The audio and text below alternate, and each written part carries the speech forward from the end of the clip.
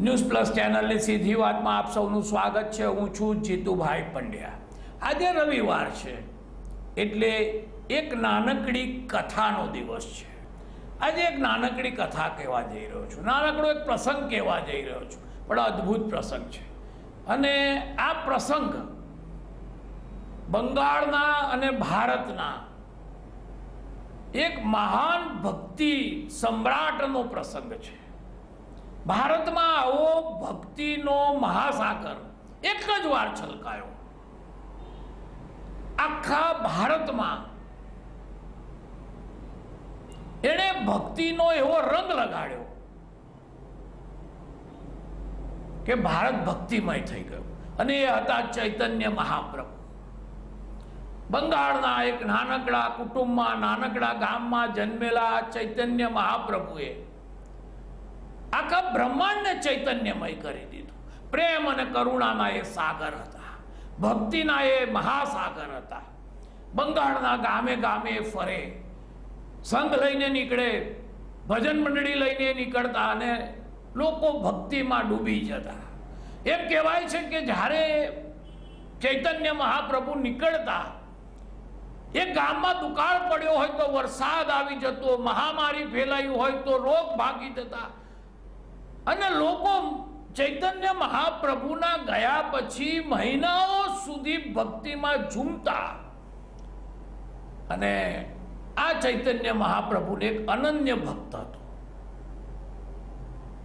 નામ અત્યારે મને યાદ નથી આવતું કદાચ. ખોટો છું. આપણે એને વ્યોમેશ કહીશું. એક બ્રાહ્મણે એને ચૈતન્ય મહાપ્રભુનું શરણ લઈ લીધેલું. એ ચૈતન્ય મહાપ્રભુનો પડછાયો થઈ ગયેલો. ચૈતન્ય મહાપ્રભુ પ્રવચનમાં એના વખાણ કરે. મહાપ્રભુ કે કે આ વ્યોમેશ ના હોય તો મારું શું થાય? મહાપ્રભુ ભગવાનની પૂજા કરતા હોય અને વ્યોમેશ સામે જુએ ચેકડો સામગ્રીઓમાંથી વ્યોમેશને ખબર પહોંચે કે ભગવાનને હવે ચંદન જોઈએ છે.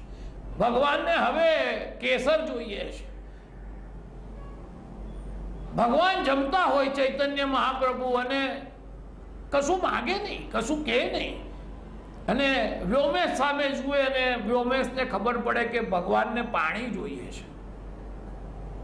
ભગવાને કશું કહેવાનું નહીં અને ચૈતન્ય ચૈતન્ય મહાપ્રભુને કશું કહેવાનું નહીં અને વ્યોમેશે સમજી જવાનું. એવા પ્રેમના તાર બંને વચ્ચે ગૂંથાઈ ગયેલા.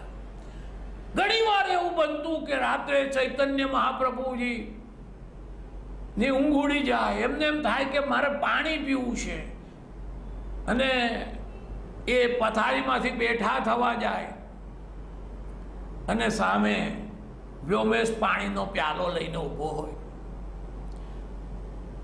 ચૈતન્ય મહાપ્રભુને તરસ લાગે અને એમને ખબર પડે. પોતાને ખબર પડે કે હું તરસ્યો થયો છું.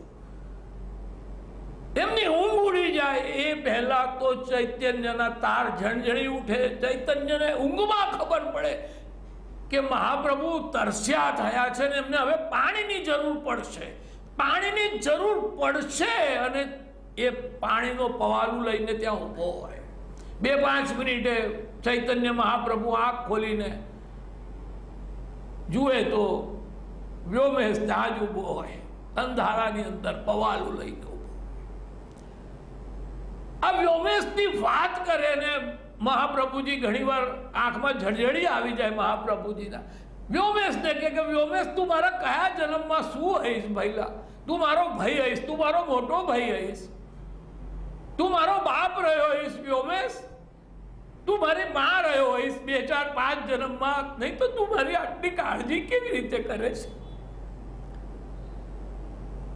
જેના પ્રેમમાં, જેણે આખા ભારતને પ્રેમમાં ગાંડું કર્યું એવા મહા પ્રભુ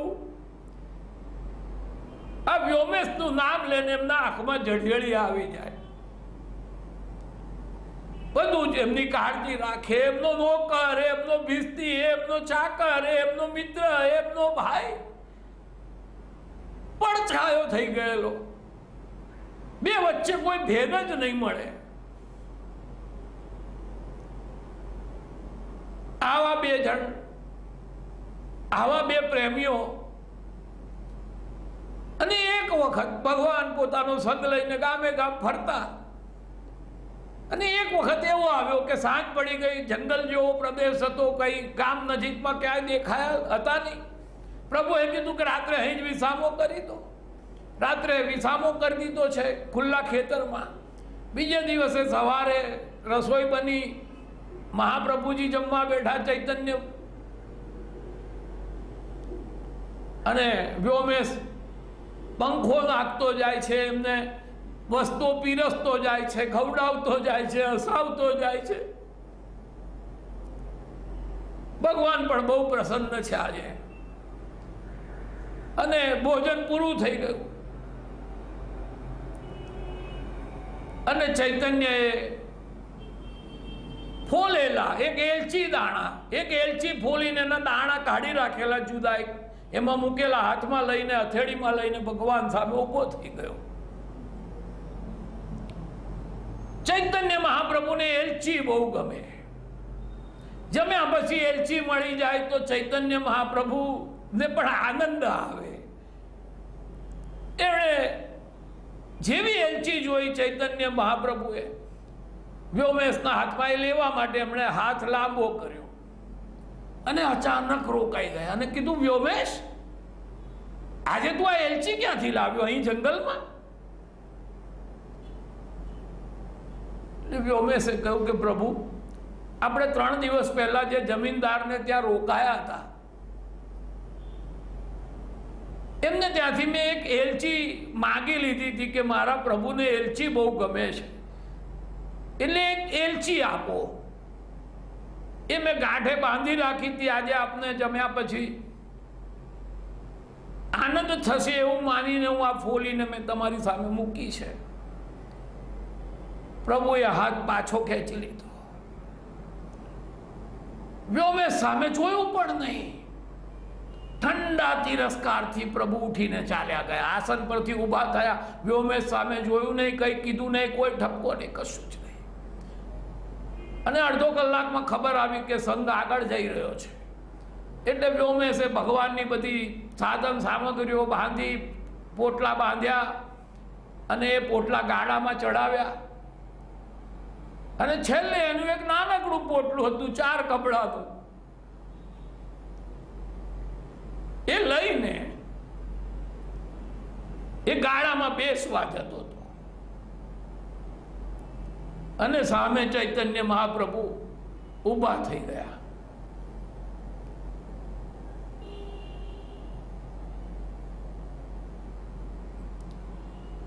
ચૈતન્ય મહાપ્રભુએ કહ્યું વ્યોમેશ તે મહાઅપરાધ કર્યો છે. તે ઈશ્વર પર શંકા કરી છે. એક એલચીના દાણામાં તે તારો જીવ બગાડ્યો. મને જોઈતી વસ્તુ ભગવાન આપી દે, દેશે એ વાત પરથી તે વિશ્વાસ ગુમાવી દીધો. તે યાચના કરી, તે મારા માટે એક એલચીનો દાણો માગ્યો. મહા અપરાધ છે. તું નજર, મારા નજર સામેથી દૂર થઈ જા કે તું અહીં જ રોકાઈ જા. તું મારી સાથે નહીં આવી શકે. વ્યોમેશ મેં તારો ત્યાગ કરી દીધો છે. મને ફરી તારું મોડું દા બતાડીશ. જે પ્રેમના મહાસાગર છે. જ્ઞાનના સાગર છે. વ્યોમેશનો તો આત્મા જ છે. અને એણે વ્યોમેશને કહી દીધું, મહાપ્રભુજીએ, કે તું મારી નજર સામેથી જતો રહે. તું રોકાઈ જાય તું મારી સાથે ના આવીશ. તિરસ્કારથી કહી દીધું. વ્યોમેશ સ્તબ્ધ થઈ ગયો.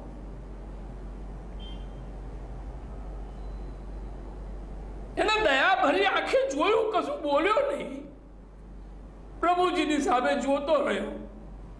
પણ પ્રભુજીએ આંખો ફેરવી લીધી છે. અને સડસડાટ ચાલવા માંડ્યા. બીજા ભક્તો પણ સ્તબ્ધ થઈ ગયા છે, પણ કોઈ કહેવાની હિંમત નથી કરી શક્યો. સંઘ ચાલ્યો. વ્યોમેશ રડતી આંખે એ જતા સંઘને જોઈ રહ્યો છે. એનો આત્મા જઈ રહ્યો છે, એના પ્રભુ જઈ રહ્યા છે, તિરસ્કારીને જઈ રહ્યા છે દુત્કારીને જઈ રહ્યા છે. સજળ નેત્રે જોતો જ રહ્યો, કઈ બોલ્યો નહીં. એને હતું કે હમણાં પાછા આવશે પ્રભુ? કોકને તો મોકલશે મારા માટે કે છે ચાલ એને લઈ આવ. કલાકો ઊભો રહ્યો, સાજ પડી ગઈ, કોઈ નહીં આવ્યું. બેસી પડ્યો ત્યાં.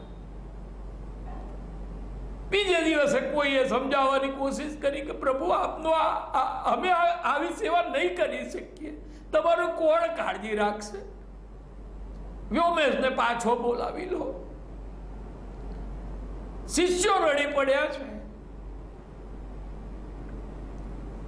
પણ મહાપ્રભુજી એક ના બે નહીં થયા. કે બહુ સખત અવાજમાં કહ્યું કે મને આજ પછી કોઈ વ્યોમેશનું નામ લેશે એ ગમશે નહીં. સમજી લો.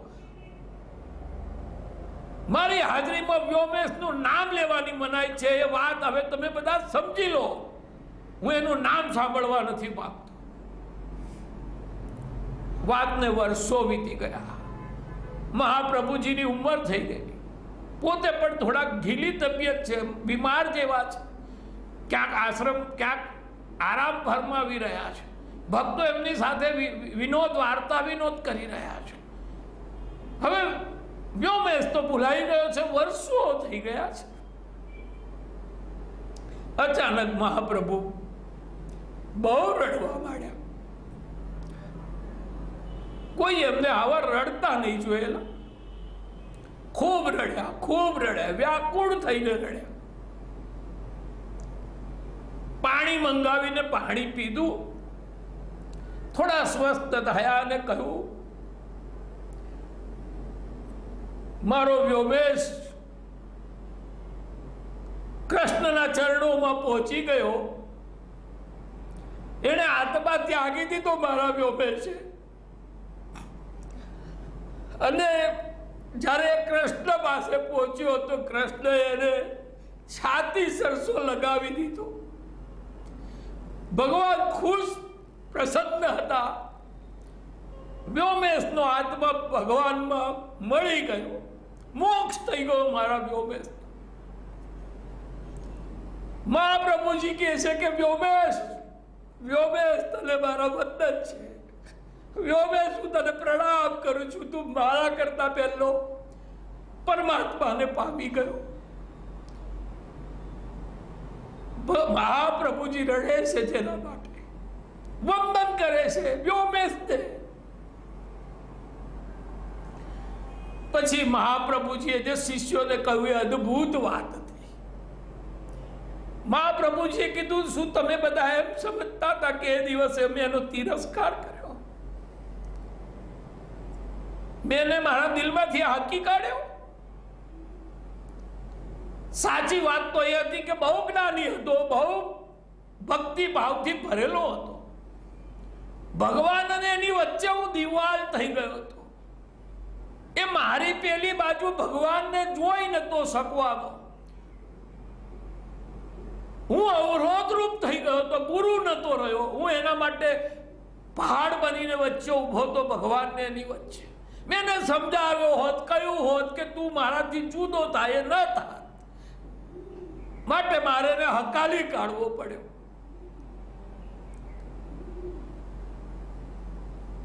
મારે દિવાલ હતી, હું દિવાલ હતો, મારે તૂટી પડવાનું હતું. મારે એને તોડવાનો નતો.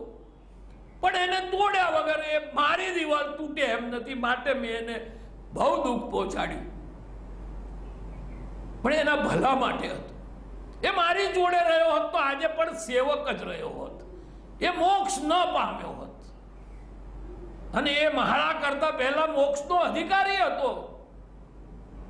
મારે એનો ત્યાગ કરવો જરૂરી હતો. આ મહાગુરુઓની વાત છે. સાચા ગુરુઓની વાત છે. ભારતમાં શિષ્યોને, શિષ્યોએ ગુરુ માટે શું કર્યું? એની બહુ કથાઓ છે. પણ ગુરુઓ પણ શિષ્યો માટે શું કરતા હોય છે? એની એક અદ્ભુત કથા છે. પ્રણામ છે મહા ગુરુઓને. પ્રણામ છે વ્યોમેશને. પ્રણામ છે ભારતની મહાન ગુરુ શિષ્યોની પ્રણાલિકાને.